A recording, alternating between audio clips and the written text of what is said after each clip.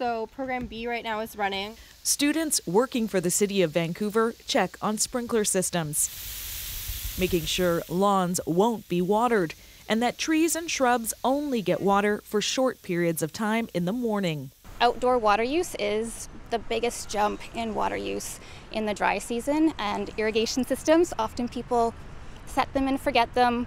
The city is urging people to accept their brown lawns or risk a $500 fine. We also have an enforcement program where we have three bylaw officers who are actively patrolling uh, seven day a week shifts.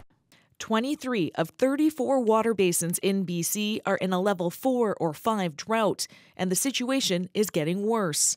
The reservoirs that feed Metro Vancouver are in normal range right now, but water use has been up 20% this year because it's been so hot.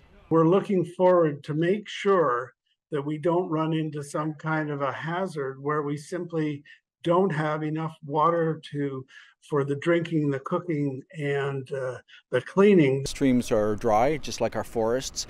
This expert says it's possible more restrictions could be needed down the road if people don't conserve.